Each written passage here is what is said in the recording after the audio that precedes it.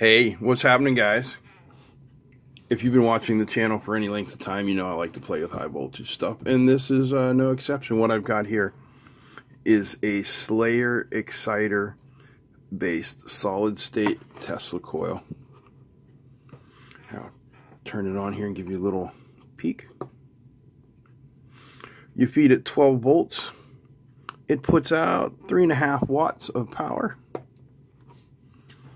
and I am going to release this as a kit with my new friends and new sponsor, nextpcb.com. We'll talk more about them later. Right now, let's go take a look at the circuit board. All right. So here is the circuit. And for all of you who are always asking me what uh, software I use, you can see right here, I use Easy EDA it is a uh, free online uh, designer program. Anyway, here is uh, the circuit. So if we start over here, we have the power coming in through a DC power jack. This says 24 to 36 volts. Well, we're going to probably change that. Make it like uh, 12 to 24. Like I said, this is just a prototype. Next, we have a uh, 470 ohm electrolytic capacitor, just acting as a tank, a reservoir. So it's going to charge up first before anything else happens. Uh, you can ignore this diode for now. This is going to be part of a, uh, well, it might, be part of a, of a different uh, change to this circuit, but I don't know right now. If you install the diode, nothing bad will happen. If you don't install the diode, nothing bad will happen. Over here we have our uh, our biasing for our single transistor oscillator. In this case, we're using the TIP 41C, but um, there are a couple other choices you can put in here that match the pinout, you know, that might have what you have. As long as it goes from left to right, base, collector, emitter, you'll be okay. Just, you know, check the maximum limits for everything. So we have a 1K. I don't think I used a 1K resistor. No, I used a uh, 47K. So let's change that.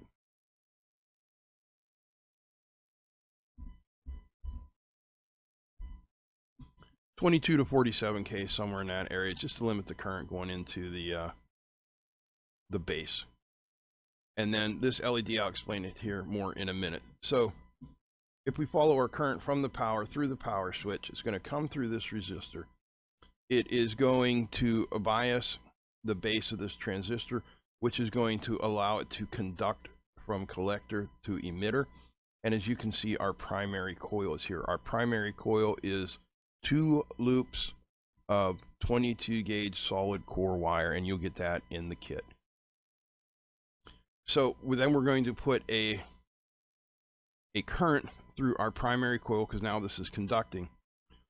Through inductance, it is going to induce a voltage into the secondary coil of a different polarity, out of phase, you know, what's so to speak. That out of phase voltage is going to come down through here and shut the base off. That is what is going to give us our isolation. I mean, our oscillation. Now, what about this LED? Well, this LED here is acting kind of like a Zener diode to clamp the high voltage that is coming back through the secondary coil so that we do not blow up the tip 41C bipolar junction transistor that we're using to drive this entire circuit. All right, let me show you the board layout next, and I'm going to make a couple changes on this too. So here is our board. You're going to put your primary and secondary coils here in the center your um, transistor goes up here with the heat sink, which will also be included in the kit. Now, what I'm going to do is I'm going to end up moving this primary coil connection like probably over here on the bottom side of the board. Maybe the top. Yeah, it, will stay on the top side. But I'm going to bring it right over here so we don't have a whole bunch of wire crossing the board. And the secondary coil connection is also going to come here, probably on the opposite side. But that will definitely be on the bottom then everything else can pretty much remain where it was. And we can do a little 3D render here, give you an idea what this will look like without the uh, the coils in place.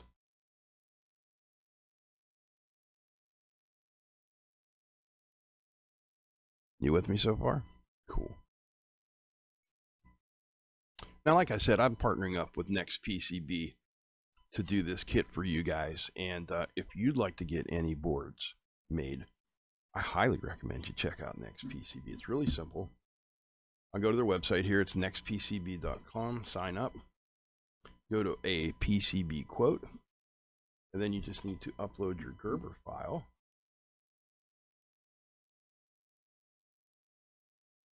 I just need to remember where mine are. One moment, please. There it is.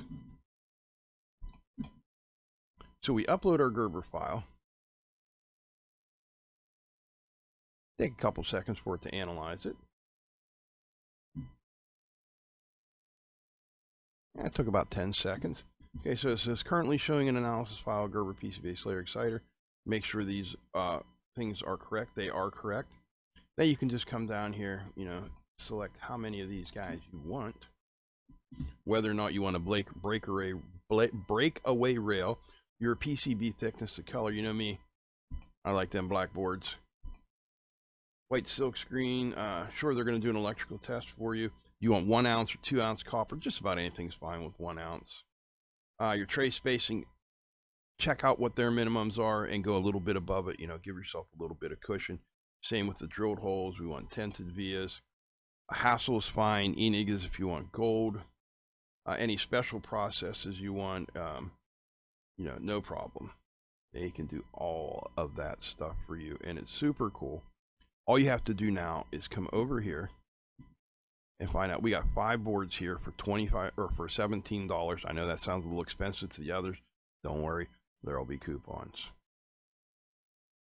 yeah, down here, PCB tier price, uh, up to five boards is going to cost you 17 bucks. So that's a 351 a piece.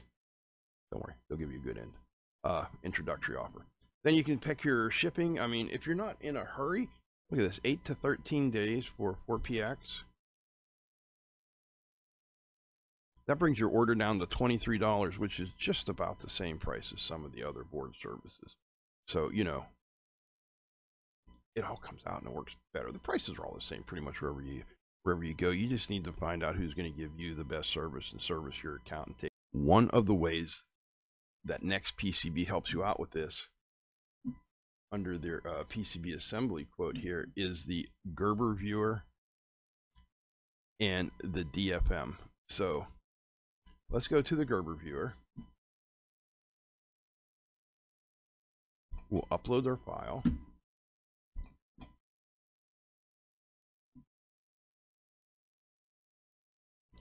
Now, this is uh, what I think is so cool about Next PCB.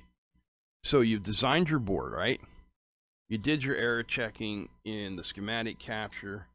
You did your electrical checking in your PCB layout. Well, now when you come up over here, you can come over here and get this DFM checklist. Signal integrity, no errors, short circuit, nothing. Pad spacing, no problem. Board edge clearance, bah, bah, bah. Everything that you want to know is going to tell you here so that you have no surprise when you get your boards. Now, if you're doing this for a company or you know you're trying to be a little bit more in a professional way, you can download that DFM report just like this and have this for every single one of your PCBs. Yeah. I don't know why this failing is because this thing works, so I'm not going to worry about it at all. Super cool. All we have to do now is send our boards out to Next PCB.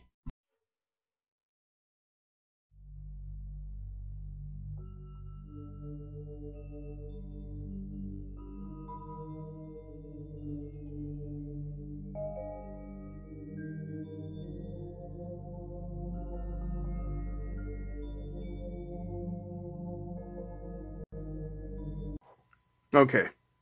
So now that we got all the technical stuff out of the way, is it any fun? Oh, I think so. Powered up here.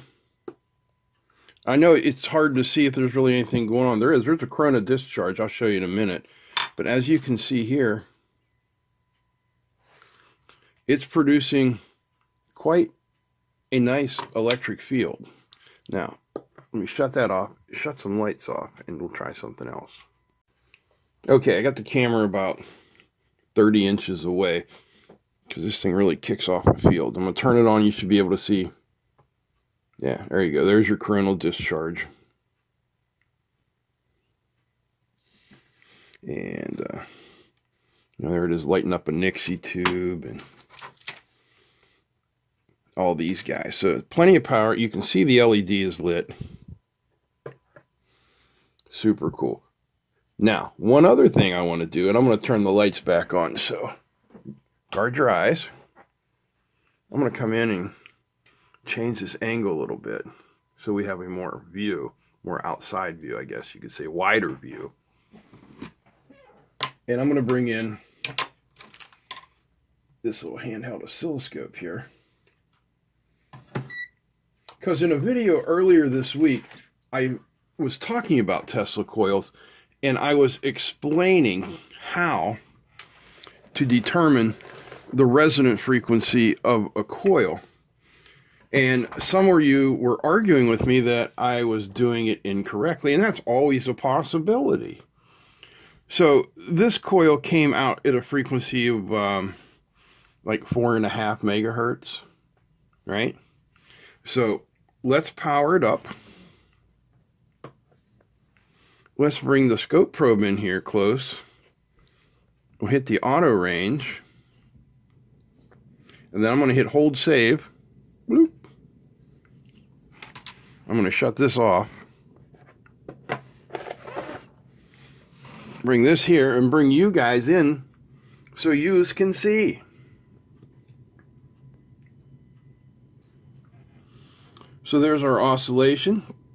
We're looking at eh, about 7 volts peak to peak. That, that's radiated energy, 7 volts peak to peak at 4.6 megahertz.